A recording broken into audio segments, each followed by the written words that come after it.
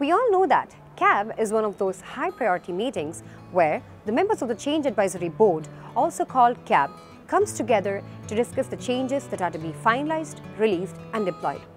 Having said that, how often do you hold CAB meetings? Twice a month? Twice a week? More than that?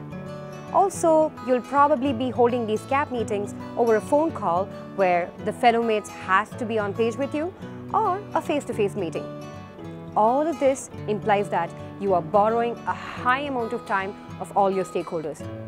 And I'm sure that you don't want to miss any of these up. You're probably organizing CAB with the following steps.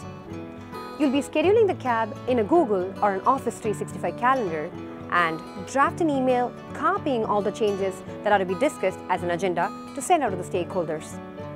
You will then probably be preparing a presentation with all the changes that has to be discussed during the session. And if there are any comments popping during the session, you'll then be searching for a scribble pad to note them down.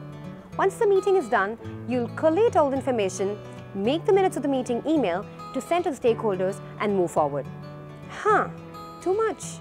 And I'm sure there are a lot of chances of you missing out on any of these steps. Freshservice snaps all of these away and replaces this with a simpler way. You can now schedule the CAB meetings right inside the change calendar. Inside the CAB meeting, you can add the details, filter out the changes that are to be discussed during the session.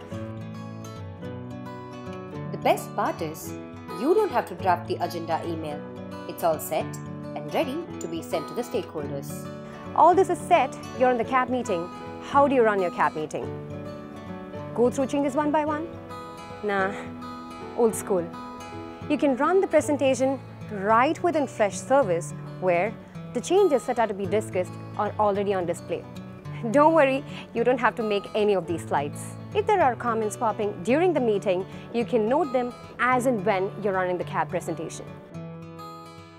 If you're an approver, you can also approve or reject the changes as and when these changes are discussed. Once the meeting is done, the minutes of the meeting email is also set and ready for you to be sent out to the stakeholders. Doing all this in one place is going to save you a lot of time and money for you and your stakeholders. Don't worry about missing out on any of these steps because Freshservice takes care of all that for you. Make sure that you execute a well-organized CAB with ease. Now tell me, hard work or smart work? Which one would you choose? Whichever you choose, Team Freshservice chose to work hard to help you work smart. Try CAB in Freshservice.